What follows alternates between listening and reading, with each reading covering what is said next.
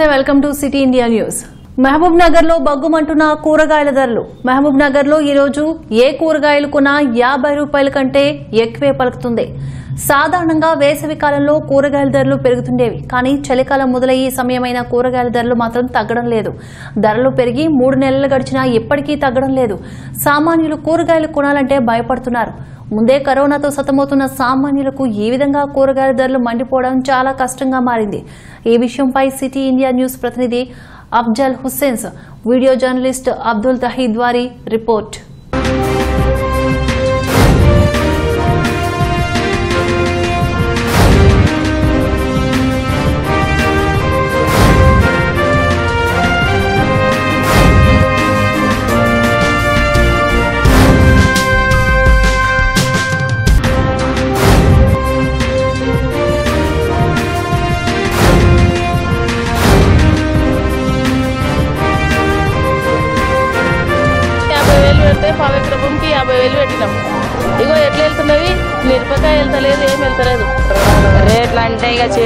అయితే ఇక వర్షాలు పడి పంటలన్నీ ఖరాబ్ అయినాయి. అస్సలం మహబూబ్ నగర్లో మండిపోతున్న కూరగాయల ధరలు.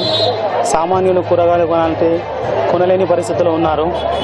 గత మూడు నెలల నుంచి కూరగాయల కూరగాయల ధరలు ఒకే ఒకేసారి పెరగడంతో సామాన్యులకు చాలా కష్టమవుతుంది. మూడు నెలలు గడిచినప్పటికీ కూరగాయల ధరలు తగ్గడం లేదు. ఓవైపు కరోనాతో సతమవుతున్న జనాలకు ఈ విధంగా కూరగాయల ధరలు తగ్గిపో తగ్గకపోవడంతో చాలా ఇబ్బంది పాలవుతున్నారు. ప్రజలు మార్కెట్లోకి రావాలంటే కూడా భయపడుతున్నారు. సాధారణంగా వేసవి కాలంలో పెరిగే కూరగాయల ధరలు మూడు నెలలు గడిచినప్పటికీ వర్షాకాలం అయిపోయే సమయమైనా చలికాలం మొదలయ్యే సమయమైనా ఇంతవరకు కూరగాయల ధరలు మాత్రం తగ్గడం లేదు. ఏ కూరగాయలు ఉన్న యాభై రూపాయలకు పైనే ఉంది. మిర్చి మిర్చి ఘాటెక్కింది మిర్చి యొక్క ధర సెంచరీ దాటి నూట ఇరవై దగ్గర ఆగింది. ఈ రోజు మార్కెట్లో నూట ఇరవై దగ్గర మిర్చి కొనుగోలు చేస్తున్నారు. వినియోగదారులకు చాలా ఇబ్బంది పాలవుతున్నారు. అసలు మార్కెట్లో రావాలంటేనే బాగా ఇబ్బంది పడుతున్నారు. మ- ఈరోజు మార్కెట్లో రైతు బజార్లో వినియోగదారుల కొరకు ధరల పట్టిక ఉంది. అది కూడా ధరల పట్టికలో ఎలాంటి ధరలు లేవు. ప్లస్ ఇక్కడ కనిపిస్తున్న మన రైతు మార్కెట్లో పైన ఉన్న ప్లేస్ మొత్తం ఖాళీగా ఉంది. ఎవరు పైన కూర్చోట్లేదు అందరు రోడ్డు పైన కూర్చొని వ్యాపారం చేస్తున్నారు. ఎందుకో అని అడిగితే వాళ్ళకు అధికారులు పైన కూర్చోదని చెప్పారంట. దేని కొరకు చెప్పారో వాళ్ళకి అర్థం కావట్లేదు. చాలామంది రోడ్డు పైన వ్యాపారం చేస్తున్నారు. ఈ విధంగా కూరగాయలు ధరలు పెరగడానికి కూడా ఈ యొక్క ధరల పట్టిక లేకపోవడం కూడా ఒక కారణమని చెప్పొచ్చు. చాలా రోజులుగా అంటే మొదల లాక్డౌన్ మొదలప్పటి నుంచి రైతు మార్కెట్ అనేది బంద్ అయిపోయింది. ఇప్పుడు ఇప్పుడు అన్ని అన్లాక్ దేశం మొత్తం దేశం మొత్తం అన్లాక్ ప్రక్రియ మొదలైన రైతు మార్కెట్ మాత్రం ఓపెన్ కావట్లేదు. వినియోగదారులు ఇటు విక్రయదారులు కూడా చాలా ఇబ్బంది పాలవుతున్నారు. అండి వినియోగదారుల కానీ మనం తెలుసుకున్నాం ఏ విధంగా ధరలు మండిపోతున్నాయి. గోడౌన్ పే రేట్ హైకి. కైసా దిన్ మే సర్కా లోగా कैसा बोले वैसा करें। कौन सा भी रेट ये लोग कम से कम रेट है तो भी हमारे कम से कम मालूम तो होता। कैसा होता, गरीब लोग कैसा जीना। गरीब लोग क्या करेंगे? कैसा गिनेंगे कैसा ये होगा बहुत परेशानी है गरीब लोगों को। वो अमीर लोग कैसा भी खाते, कैसे भी रहते। महँगी तरकारी है। कोई सी भी तरकारी ले, पचास से कम नहीं है। छोटी भी। वो ज़्यादा से ज़्यादा सौ रुपये है। सौ रुपये से कहाँ से लाएँगे? बहुत महँगा हर चीज़। कम से कम कितने दिन से तरकारी रेट बढ़ के हुआ है ये तकरीबन ये दो तीन दो महीने से तो बढ़ के छः फिर बारिश आए क्या करना समझ नहीं आता और आप कहाँ रहते हैं కొద్దిగా కూరగాయలు తీసుకోవాలంటే రేట్లు ఎరిగి ఇబ్బంది అవుతుంది కొద్దిగా పిల్లలు ఉన్న తనైతే చాలా ఇబ్బంది అవుతుంది కొద్దిగా అందుకే వెనక ముందు అవుతున్నాం కూరగాయలు తీసుకోవాలంటే అదే ప్రాబ్లం నుంచి వెనక ముందు అయ్యి కూరగాయలకు ఆపేస్తున్నాం అందుకే టమాటాలు అవి. టమాటా యాభై రూపాయల కిలో చెప్తున్నారు. పచ్చికాయలు వంద రూపాయలు చెప్తున్నారు. ఏం టమాటాలు తీసుకున్నా పచ్చిమిరపకాయలు తీసుకున్నాం. మేమా? ఎక్కువనే తీసుకోవాలనుకుంటాం తక్కువ తీసుకుంటున్నాం ఇప్పుడు రేట్లు బట్టి ఏ విధంగా ఉన్నాయి సార్ కూరగాయల ధరలు? కూరగాయల రేట్లు మినిమం యాభై నుంచి డెబ్బై ఎనభై రూపాయల దాకా ఉంది. మరి కొనడంలో మీకు ఏమైనా ఇబ్బంది? ఇబ్బందే కదా. అధిక రేట్లు ఉంటే ఇబ్బంది అందరు. రోడ్డు పైన రేట్లు లేవు? అవును ఇక్కడ బోర్డు పైన రేట్లు ఏమో పెట్టలేరు దళారులు ఇష్టం వర్షాలు పడడంతో ఇతర మార్కెట్ల నుంచి రావాల్సిన సరుకు అంతా ట్రాన్స్పోర్ట్ లేనందువల్ల వీళ్ళు రేట్లు డబుల్ రేట్లు పెంచి అమ్మేస్తున్నారు. నిన్నటి వరకు మిర్చి కిలో అరవై రూపాయలు ఉండేది ఇప్పుడు వన్ ట్వంటీ వరకు చెప్తున్నారు రేట్లు. దీన్ని అదనం చేసుకొని వీళ్ళు కూడా రేట్లు ఎక్కువ చేయడం లోకల్ కూరగాయల మార్కెట్లకు రావడానికి కూడా పంటలకు మొత్తం వర్షాలు పడి రాకపోవడం నుంచి రేట్లు అధిక రేట్లకు అమ్ముకోవాల్సి వస్తుంది ఈ విధంగా ధరలు ఒకేసారి పెరిగిపోవడానికి కారణం కూడా లేకపోనుంది. వర్షాలు బీభత్సంగా పోవడం వల్ల కర్నూలు అక్కడి నుంచి రావాల్సిన కూరగాయలు రాకపోవడంతో సగం కూరగాయలు రాకపోవడంతో రేట్లు విపరీతంగా పెరిగాయి. సగానికి సగం డబల్ రేట్లు పెరిగి పెరగడం వల్ల ఇక్కడ ఇటు వినియోగదారులకు విక్రయదారులు కూడా చాలా ఇబ్బందికరంగా మారింది. ఇంకో విధంగా ఈ మార్కెట్లో రైతు బజార్ మొత్తానికి సంపూర్ణంగా నడవడం లేదు. పాక్షికంగా నడుస్తుంది. విక్రయదారులు విక్రేతలు అందరూ రోడ్డు పైన కూర్చొని అమ్మడం వల్ల కూడా ఇబ్బంది అవుతుంది. ఒక నిర్ణీత ని- నిర్ణయించిన రేట్లు లేకపోవడం వల్ల వినియోగదారులకు చాలా కష్టాలు పడుతున్నారు.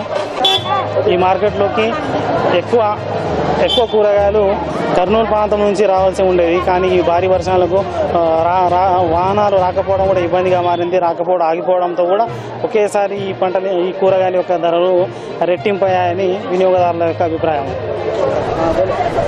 రాష్ట్రంలో కురిసిన భారీ వర్షాల కారణంగా ఓవైపు వర్షాలతో పంట నష్టాలు జరగడము ప్లస్ ఇంకో విధంగా వేరే ప్రాంతాల నుంచి రావాల్సిన కూరగాయలు రాకపోవడంతో ధరలు ఒకేసారి రెట్టింపాయని వినియోగదారులు ఇటు వ్యాపారస్తులు విక్రయదారులు కూడా చెబుతున్నారు.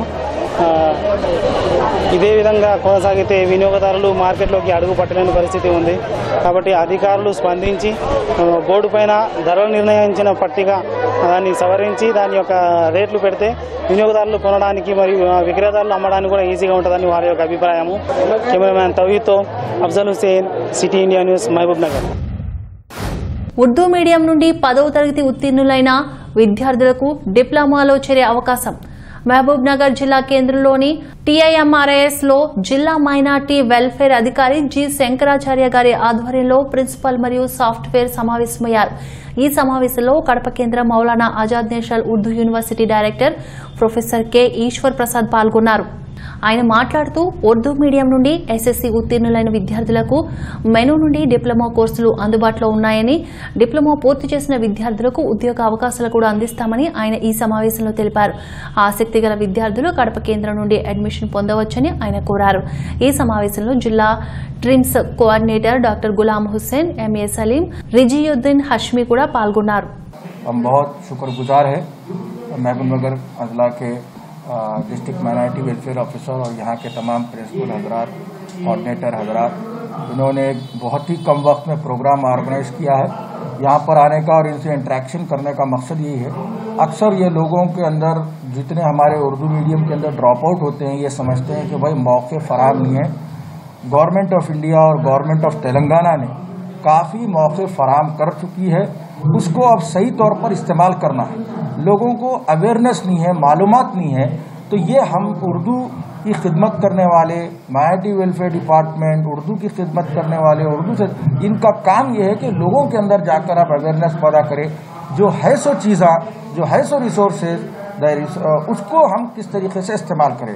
द अवेलेबल रिसोर्सेज को हम यूटिलाइज करें और जो नहीं है उसको हम जो है गवर्नमेंट को इसका इन्फॉर्मेशन दें हम ये समझते हैं कि बहुत अच्छी गवर्नमेंट है हमारी जो हमको पूरे के पूरे चीज़ें फराम कर सकती है నిన్న సాయంత్రం సరిగ్గా ఏడు గంటలకు నాకు డిఎండబ్ల్యూ ఆఫీసర్ గారు ఫోన్ చేయడం జరిగింది మన నుంచి ఆ, డైరెక్టర్ గారు మరి ప్రిన్సిపల్ గారు యూనివర్సిటీ ప్రిన్సిపల్ గారు ఒక ప్రోగ్రాం ఉంటుందని చెప్పి మేము జస్ట్ పన్నెండు గంటలు ఈ జిల్లాలో ఉండే ప్రతి లెక్చరర్ను ప్రతి ప్రిన్సిపల్ను ఈ ప్రోగ్రామ్కి ఇన్వైట్ చేసినాం.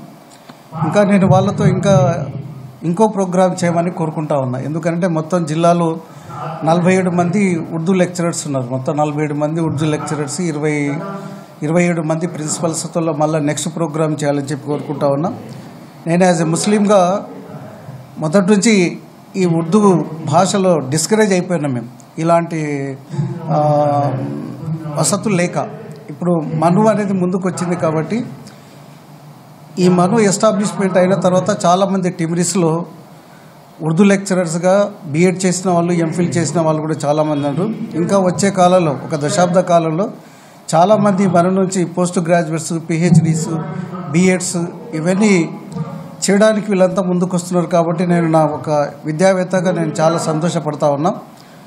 అంతేకాకుండా ఒకవేళ వీళ్ళని ఇక్కడ ఒక ఆఫీస్ ఎస్టాబ్లిష్మెంట్ చేయాలని చెప్పి కోరుకుంటా ఉన్నాం. ఒకవేళ మహమ్నలో ఒక ఎస్టాబ్లిష్ ఆఫీస్ కానీ ఎస్టాబ్లిష్ చేసినట్లయితే మహమ్నడ్ జిల్లాలో ఉండే స- సుదూర తీరాలకు పోకుండా మహమ్నడ్ జిల్లాల గ్రామాల వాళ్ళ కూడా అక్కడ వచ్చి ఇక్కడ ఫెసిలిటీలు సద్వినియోగం చేసుకోవడానికి దోహదపడతా ఉంది కాబట్టి నేను ఈరోజు ఈ ప్రోగ్రామ్ని ఇక్కడ సక్సెస్ఫుల్ చేసినందుకు వాళ్ళు మా దగ్గరకు వచ్చి అందరికీ ఎడ్యుకేట్ చేసినందుకు అందరూ సంతోషపడతా ఉన్నారు. ఇదే విధానాన్ని కొనసాగిస్తూ కోరుకుంటూ సెలవు గత కొన్ని రోజులుగా కురుస్తున్న వర్షాలకు ఉమ్మడి జిల్లా వ్యాప్తంగా చాలా మంది రైతులు నష్టపోయారని పీసీసీ కార్యదర్శి ఎంపీ వెంకటేష్ అన్నారు. మహబూబ్ నగర్ జిల్లా హన్వాడ మండలంలో అకాల వర్షాలకు నీట మునిగిన పంటలను ఆయన పరిశీలించారు. ఈ సందర్భంగా ఆయన మాట్లాడుతూ అకాల వర్షాలకు పంటలు దెబ్బతిని పూర్తిగా ప్రతి రైతుకు నష్టపరిహారం చెల్లించాలని ఆయన డిమాండ్ చేశారు. తెలంగాణ ప్రభుత్వం స్పందించకపోతే కాంగ్రెస్ పార్టీ ఆధ్వర్యంలో పెద్ద ఎత్తున ఉద్యమాలు చేస్తామని హెచ్చరించారు.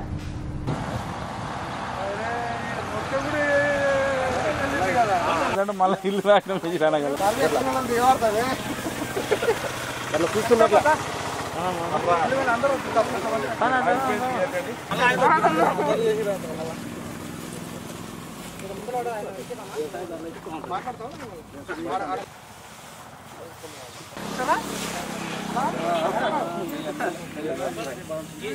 ఎన్ని ఎకరాలు వేసినావమ్మా? మూడు ఎకరాలా? ఇది ఇది ఇది ఎన్ని మూడు రోజులైనా ఎవరు వ్యవసాయం ముందు ఎవరు రాలే ఇదంతా దాదా నువ్వు రా. కృష్ణాస్వామి ఇట్లా రా ఏయ్. కృష్ణాస్వామి ఇట్లా రా. ఏయ్, ఇట్లా రా. ఎన్ని ఎకరాలమ్మా ఎన్ని ఎకరాలు వేసినావు మొత్తం మీరు రెండు ఎకరాలు తీసుకొచ్చావు. ఎన్ని- ఎంత పెట్టుబడి పెట్టావు అంటే ఇరవై ముప్పై ఐదు వేల పెట్టా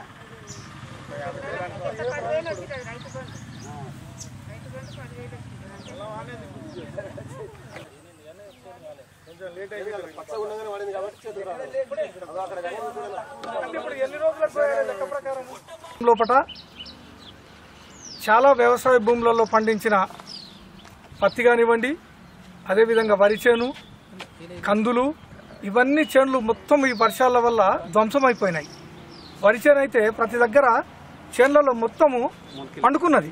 మొలకలు వెళ్ళినాయి. చూడండి ఇక్కడ మొలకలు వెళ్ళినాయి. పత్తి పత్తి కూడా మొలకలు వెళ్ళినాయి. ప్లస్ నల్లగా అయిపోయినాయి. అదే విధంగా ఇక్కడ పసుపు రోగం అనేది ఒక రోగం వచ్చింది వరికి. కాటిక రోగం. అంటే ఇటువంటి పరిస్థితుల పట ప్రభుత్వము రైతులను ఆదుకోవాలి. విపత్తు వచ్చినప్పుడు ప్రభుత్వం కరెక్ట్గా సర్వే చేసి వ్యవసాయదారుల దగ్గరికి వెళ్ళి మండల వ్యవసాయ అధికారులను వాళ్ళని అడిగి ఎంత నష్టం వచ్చింది ఎన్ని ఎకరాలలో పంటలు వేసినారు ఎంత వాళ్ళకు నష్టం వచ్చింది అనే దానిపైన ఒక అంచనా వేసి ప్రభుత్వానికి సమర్పించి ప్రతి తొందర లోపట అతి తొందర లోపట ఎవరైతే ఇబ్బందులకు గురైన రైతులకు నష్టపరిహారం చెల్లించాలని చెప్పేసి కాంగ్రెస్ పార్టీ డిమాండ్ చేస్తూ ఉంది. ఈరోజు మేము మునిమోక్షము తర్వాత గుండ్యాలు కిష్టంపల్లి తర్వాత ఇక్కడ హన్వాడ లోపట అన్ని చూసినాం మేము. కా- కాంగ్రెస్ స్థాయి లోపల మేము మేము నాయకులం వచ్చి పరిశీలించినాం. అయితే మన తెలంగాణ ప్రభుత్వము రైతు ప్రభుత్వం అని చెప్తా ఉంది. కానీ ఫసల్ బీమా కింద ప్రీమియం అనేది కేంద్ర ప్రభుత్వానికి రాష్ట్ర ప్రభుత్వం ఐదు వందల పన్నెండు కోట్లు చెల్లించాలి. అది మన రాష్ట్ర ప్రభుత్వం చెల్లించలేదు. అంటే విపత్తు వచ్చినప్పుడు ఫసల్ బీమా పథకం కింద ఎవరైతే రైతులు నష్టపోతారో వాళ్ళకు వాళ్ళకు అమౌంట్ ఇస్తారు. వాళ్ళకి నష్టపరిహారం కింద పైసలు చెల్లిస్తారు. ప్రీమియం కట్టలేదు మనం. గత ఆరేండ్ల నుంచి కూడా ప్రీమియం కట్టడం లేదు. ఇంకా ప్రజలకు ఎక్కడి నుంచి వస్తాయి రైతులకు?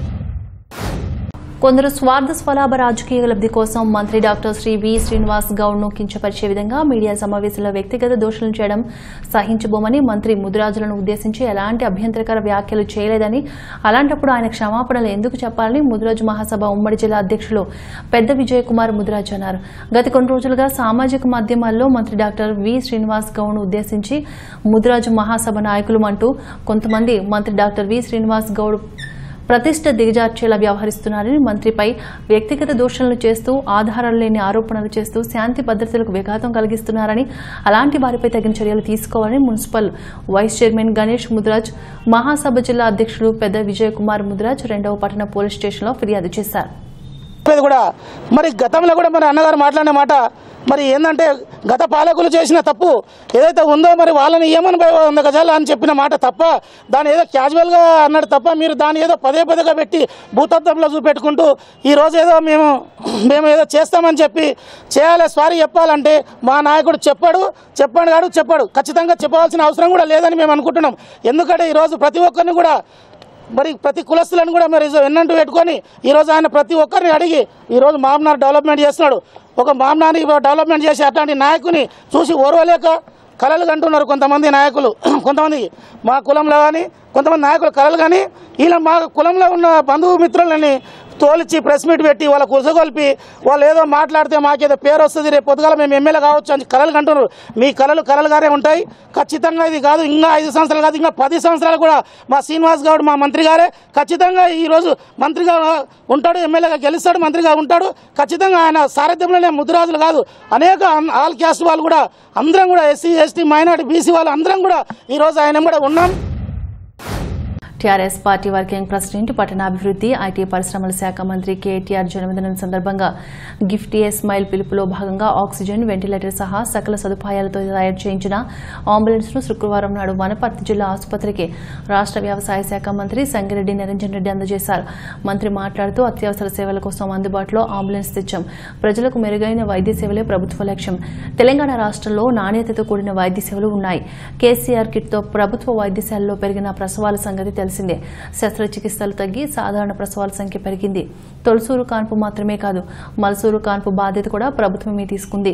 కళ్యాణ లక్ష్మితో పెళ్ళికి కేసీఆర్ కిట్ అమ్మఒడితో కాన్పుకు సర్కార్ చేయూతనిస్తుంది మంత్రి కేటీఆర్ గిఫ్ట్ ఎస్మైల్ స్మైల్ పిలుపులో భాగంగా ప్రజలకు ఉపయోగపడే విధంగా అంబులెన్స్ అందజేయడం జరుగుతుందన్నారు. వెంటిలేటర్ ఆక్సిజన్ తదితర సదుపాయాలతో కూడిన అంబులెన్స్ మూలంగా సామాన్యులకు ఆపత్కాలంలో ఉపయోగకరంగా ఉంటుందని మంత్రి అన్నారు.